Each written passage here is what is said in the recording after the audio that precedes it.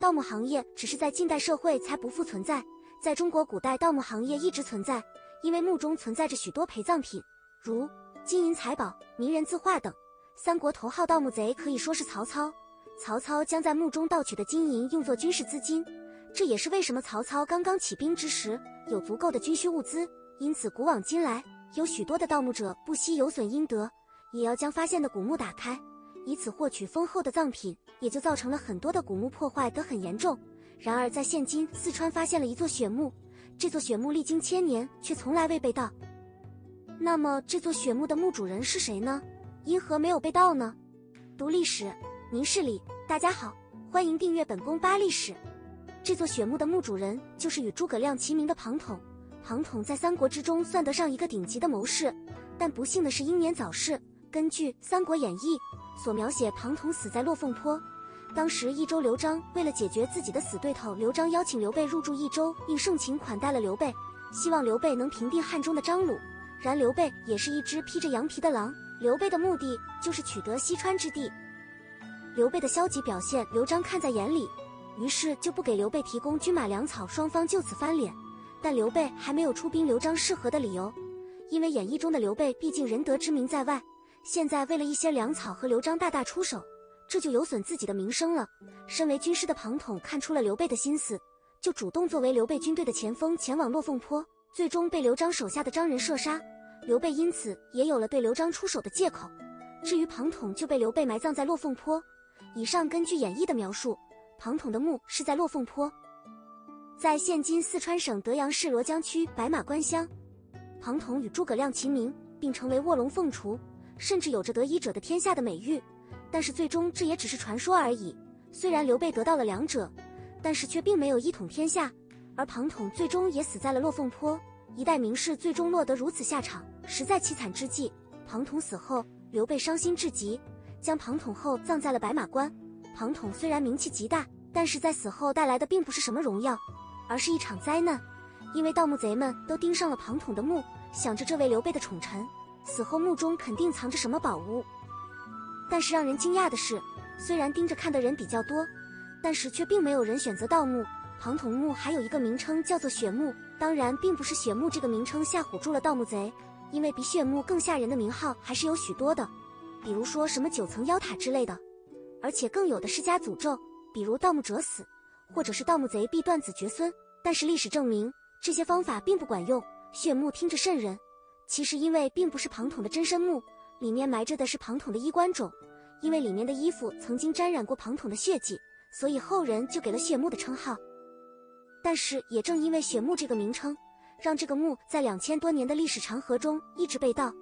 因为盗墓在古代一直是一个高风险职业，历朝历代对于盗墓贼都是严厉打击的，所以盗墓贼每次在动手的时候，都要先考虑一下是否值得动手。因为如果费了很大的力气进去以后，就挖出了几件带血的烂衣服，而且还不能拿出去卖，肯定是不值当的。另一点则是庞统的血墓位置特殊，不在荒郊野外。在不远的地方就是一个村庄，在村庄周围选择盗墓风险极高，万一不小心被当地的村民给发现了，然后扭送官府，可能带来的就是杀头大罪了事。所以，即便诱惑再大，盗墓贼都不愿意去动手，因为《三国演义》的影响实在太大，很多人都误解为先有落凤坡这个地名，再有庞统战死于此，甚至于明代的地理著作《广舆志》都收录了这样的说法，这是必须要加以澄清的。至于是因为庞统盗号凤雏，所以命丧落凤坡是天意的说法，则更是一种民间传说了。落凤坡这个地名是三国之后才有的，在《三国演义》中有“凤雏卧龙，得以可安天下”的说法。在这种说法的渲染下，庞统和诸葛亮在大家的印象里是水平相当的人物。那么正史上的庞统究竟是怎么样一个人呢？事实上，正史中也是有卧龙凤雏的说法的。这个说法来自于《襄阳记》。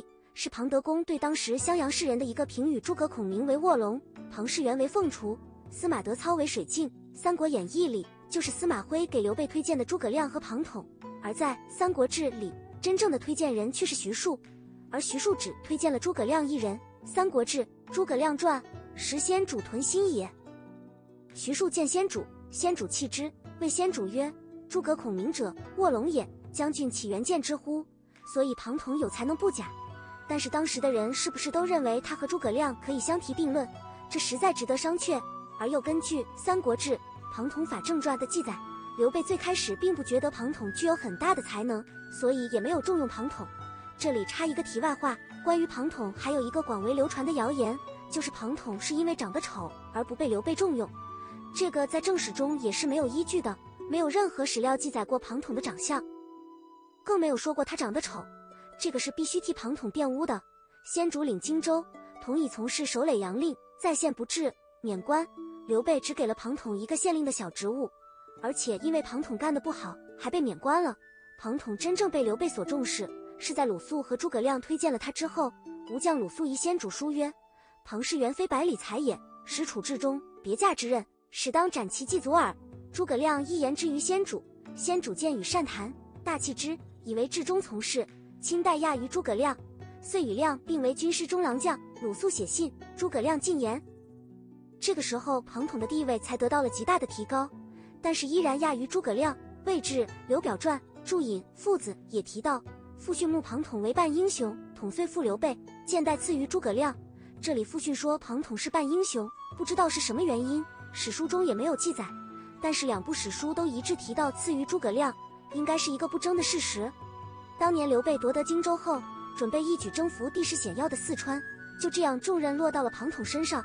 庞统跟随刘备率军行进在四川的大道上，而他所骑的马正是刘备的坐骑。